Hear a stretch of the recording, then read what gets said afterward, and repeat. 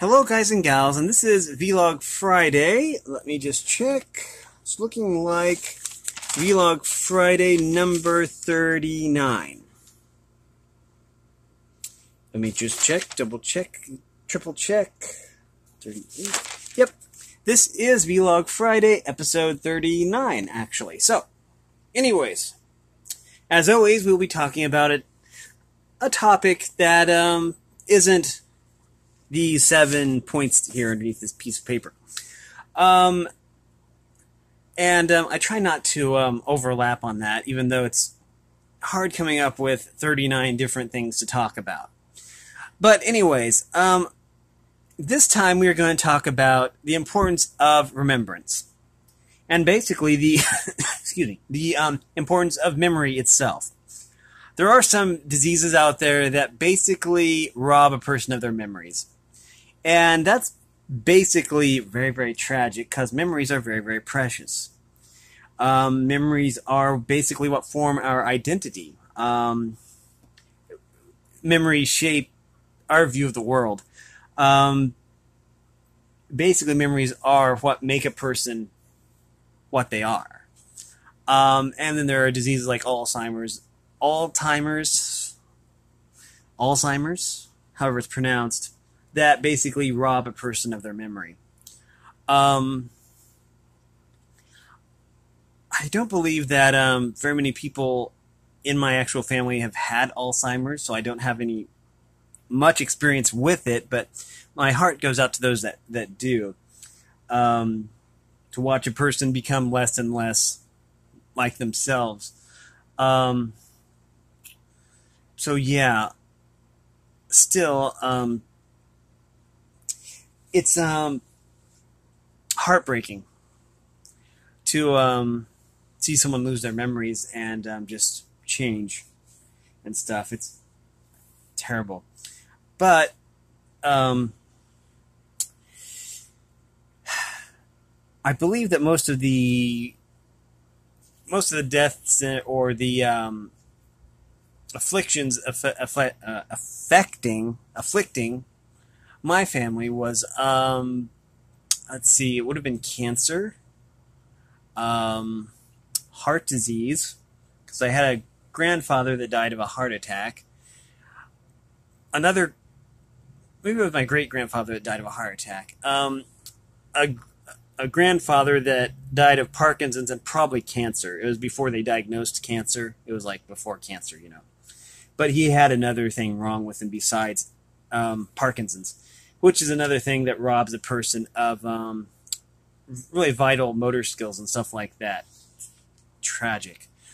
Um, it can be basically just as tragic as as the memory losing a memory. Um, anyways, but yeah, um, cancer mainly in my family. Um, I think that I had a grandfather that had like bone cancer or something, and so yeah, not a good way to go out. My mother, she um, she didn't exactly die of cancer. She died of cardiac arrest, or or, or she just had a heart attack. But um, she was cancer free. She'd undergone all the cancer treatments, and so that was good. But it was a kind of cancer that was likely to come back.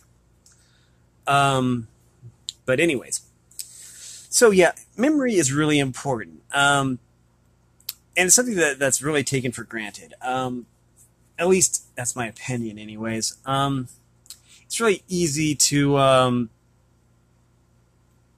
see, I can basically remember back maybe a few years, and some people can't. I mean, some people. And there are times even I have very little memory of my childhood or um, anything that happened, you know, back when I was a child. And I've never really known why I don't have those memories, and maybe it's a good thing I don't. But um, even school, I don't really remember school or college or anything like that. I don't know if I just found the memories to be boring and bland, and so I don't remember them, or if they were too traumatic for me to remember. So um, I don't really have memories, too many memories of my youth, and I'm 44, I believe, and I don't really, I, I have a photographic memory, and I remember the studies and the stuff that was interesting in school, but I don't really remember very much else. Just vague, very vague memories that have no connection, and that might not even be my own memories. And um, it's just kind of a weird feeling, you know, to just not have that chunk of your life there. Um, just to have that gone. It's just weird. Um, so people can ask how, what, what I was like as a kid, and I won't remember because I don't really know why. I don't know if it's um, the way my mind works. Because I mean, I can do math in my head without a calculator. I can, I've got photographic memory. I can do all this stuff, but I can't remember my past all that well. And I don't know if that's a blessing or a curse. Maybe you can tell me. Anyways, it's been about six minutes and we've been talking about memory, and um, it's easy to take that for granted, as I said before. Now, remembering some things can basically lead to depression because of maybe we made the wrong choice or made a choice that we didn't really like. Or maybe we made a choice that hurt somebody else. Um, anyways, that can lead to depression. And um, one cure for depression, or at least the symptoms of it, is to do something you enjoy at least once a day. Make sure it's something legal. Um, also, make sure it's within your dietary wheelhouse. You can't have diabetics, you know, chowing down on sugar. They can, of course. Um, I did see someone today with an insulin pump, so um, that's kind of cool. And she was eating cupcakes, and that was fine because she's constantly got insulin going into her, you know and that was cool. Um, so yeah, but still, you want to make sure that um, you're if you do decide to eat sugar and you're a diabetic, that you do it with discretion and moderation. Um, also, if you have celiacs or a disease, you know, like that, then you're not eating gluten or anything like that, because um, that's kind of fatal. So yeah, um, and again, this only helps the symptoms of depression, not the root if you really want to get better, you really need to address the root of, root of the depression or take medication. Um, number two is if there, oh, there is always someone who cares. And that's always good to know. And that's not always easy to remember. Um, speaking of memory, I mean, it's, it's, sometimes things can be pretty bad and we can forget that there's people who care. Um, people in the service industry, they care. Um, your family cares. Now, if you don't have a family, then, um, yeah, there's always someone that you have friends that I mean, people usually have friends and stuff like that that care, and it's just always good to know that someone always cares. And um, so it's easy to forget though, and society kind of um, has a way of alienating people, and um, that's not that's never good. Um, society basically can make you feel alone, even if you have a lot of followers on social media and stuff like that. Number three is if you are suffering from an affliction, there's no shame in seeking help, and this can be for a physical ailment or um, even a mental condition like bipolar or um, it used to be called manic depression, by the way, and um, like um, paranoid schizophrenia. Um, I, I, mean, with those, you actually basically need medication to um, cope and to function. but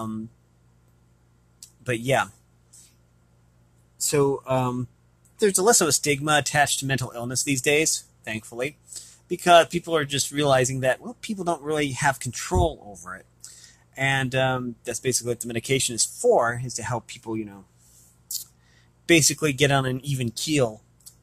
I've never really known what that meant, you know, what that that meant. I think it has something to do with boats because a keel is like a part of a ship or something. But anyway, um, I do realize that there are people out there that can deal with their depression without the medication. You know, they can use diet and meditation and stuff like that. And I really admire people that can do that. But I realize there's also people out there that can't cope with depression. And um, sometimes they take the wrong way out. And that's just tragic because, at least in my worldview, everyone has a place in society, a very important place, actually, even if they are unemployed or if their job is to clean toilets. I mean, it's everyone has um has meaning and is important into society. And when society loses a person then it's kind of overall a bad thing for everyone else. Uh, no matter how bad things get there's always hope. It's always good to know. Also things can get pretty bad. And so um, it can't be easy to find hope always but um, um, also, people in the service industry can help with that too. Um, but hope is sometimes an elusive thing, and you have to look for it. Um, things can get pretty bad, but um, like number seven, I'm going to reference number seven. Number seven is always think positive thoughts, and in a way that can also help you to hold on to hope. But um, always try to hold on to your hope and never give up. Never surrender, never give up. I think that's from Galaxy Quest. I don't think I've ever seen that movie. Anyways, number five is societal labels or tags are pointless. People are people. And this is again where society basically tries to subjugate people or cause division. Um, basically, this can be societal tags can be racial in in in nature, and I'm not going to use any of those here because um, family friendly channel here and um, I find them offensive. The uh, racial slurs and tags. No need for that. There's too much of that actually in like popular music and stuff for me to actually say any of it. And then you have someone of a different race say it, then you know, I forget who it was, but some country singer said it, and then he got like blackballed or something. I don't know. But anyways, um, it can also be uh, uh, labels that involve a sexual orientation. It can be um, even the some of the positive tags and labels that society can give are um, a little bit um, I don't know. The thing with societal tags and labels is they tend to put people in boxes that they don't really fit in. Like um, you're you, you have this color of skin, you go in this box, and it's just like it's just not really useful and it just causes more division as opposed to bringing people closer together. Um, I mean, there are people who embrace these labels and tags. I mean, in the furry fandom specifically, I mean, there are people who are proud to be called fur fags, and I mean, that that's good for them, I know, but I don't know. It's just um, kind of, I don't know. It's just um, I've never really cared for societal tags and labels. It just tends to alienate people, and um, yeah. Uh, number six is be yourself. There'll never be another you, and that's really important to be. I mean, it's really easy, especially if you're young or in high school, um, to basically just go with the crowd, to bend to peer pressure, to um, basically try to take maybe the um, more prevalent, the, the more prevalent that word? The prevailing viewpoints. Um, you should think for yourself, though, because you have a good mind and um, you see the world differently than everybody else. Um, and your, your opinions are important. Um, so, yeah.